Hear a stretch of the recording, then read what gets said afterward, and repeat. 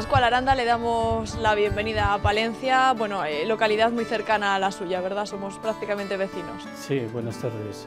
Eh, yo Palencia la considero como mi segunda ciudad y aquí realicé mi primera exposición en el año 81. ¿Qué recuerda de, de esa exposición, Pascual?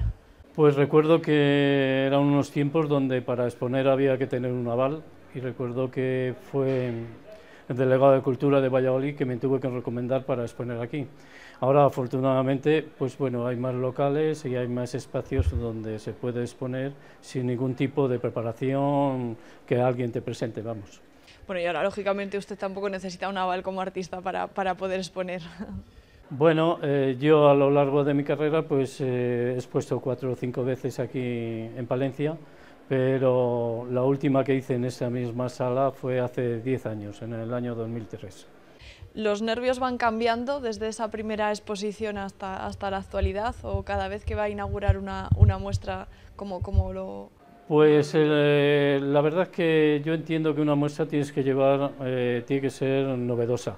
Eh, yo aquí, a pesar de que sigo como temática fundamentalmente castellana, pero de alguna forma he cambiado en cuanto a formato, he cambiado en cuanto a diseño, en cuanto a técnica espero que también. Y en ese caso yo la dedico a nuestros paisajes y a nuestra gente. Eh, yo siempre he pintado gente de Castilla.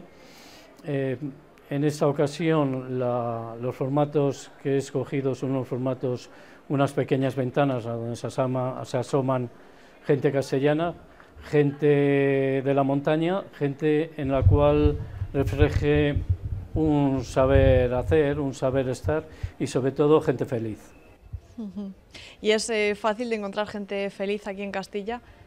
Pues eh, desgraciadamente cada vez más difícil, cada vez eh, la, la, gente estamos más crispados, donde nuestras necesidades nunca se colman y nuestras inquietudes siempre nos piden más.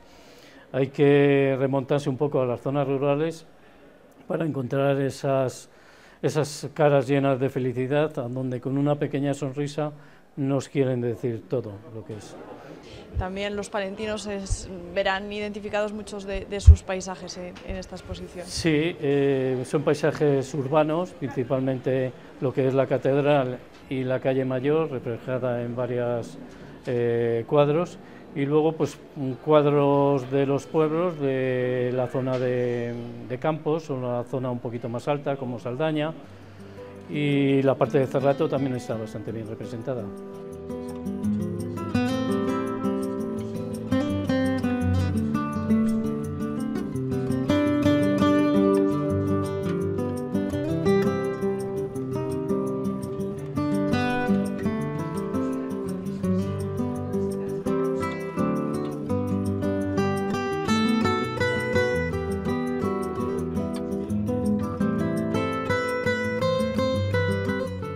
¿Viaja usted constantemente buscando lugares que, le inspiren, Pascual?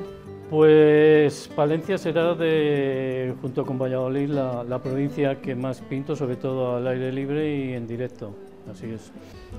Los, meses que le, permiten ¿no? pintar al aire libre, sí, me imagino. Eh, gracias a la convocatoria que nos hace el Grupo Muriel, eh, con las convocatorias que tenemos de, de, los certámenes al aire libre, pues recorrimos la, la provincia de Palencia pues la verdad que últimamente yo haber participado en este año más de 20 concursos con el Grupo Muriel. Habla usted de cambio de formato, eh, cambio en, estilo, le gusta innovar. Eh, me imagino que no solo por el público que le ve, ¿no? sino quizá como su inquietud eh, como artista. Sí, la verdad que, como te decía, sigo con la pintura castellana, pero buscando nuevos colores, nuevas expresiones, utilizando más materia quizás, eh, nuevos formatos, incorporando técnicas mixtas. Y, eh, en esta colección de paisajes alargados o paisados, a donde trato de reflejar por lo que es la Castilla en, toda su dimensión, en sus paisajes abiertos o también en sus paisajes de pueblos. Leía yo una entrevista de, hace un año que concedía usted a un medio eh, eh, que se sentía quizá en esa etapa más atraído por retratar la figura humana, que por el paisaje vemos que no ha dejado el paisaje de lado, pero bueno, ¿en qué, en qué momento pasa? Yo creo que el, el, retrato también es un paisaje humano. Todos los las cicatrices, las hendiduras de, de la gente, al final son como pequeñas aberturas en el paisaje que van dejando y van marcando una forma de ser y una forma de expresarse. ¿Qué le transmite a usted las personas que, que pintan? Pues eh, ante todo yo creo que es un, lo que he dicho es una expresión de un sentimiento que a través no lo hacen de una forma escrita, sino lo, lo hacen a través de contar una historia en, en un lienzo, en un espacio. Esa es la, lo que me transmite. ¿Y, que, ¿Y nos podría contar la historia que hay alguno, detrás de alguno de, de los retratados? Pues sí, la verdad que, mm, como os decía, no es fácil encontrar gente que, que tenga una característica. Yo diría que afortunadamente mm, todos vamos teniendo una, nos vamos pareciendo, ¿no? A través de, de los años ya no se ven esas uh, caras surcadas por el sol, marcadas pero siempre hay alguna característica. Yo aquí, en, el otro día, mm, pues justo retraté a un señor que me llamó la atención, que venía con la hija de la montaña de Palencia y que él, eh, bueno, pues la verdad que estaba un poco desconfiado porque seguro que es el primer invierno que va a pasar en la ciudad y no estaba muy contento precisamente con pasarla aquí en, en la ciudad con la hija. Él preferiría seguramente pues quedarse en su pueblo y estar allí pero bueno, las circunstancias muchas veces obligan a concentrarse en las grandes ciudades.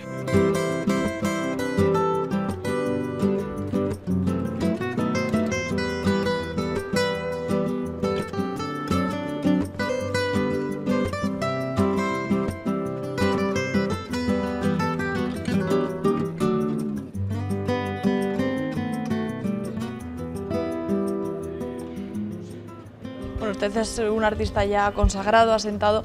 ¿Por qué momento cree que, que atraviesa el arte castellano en general?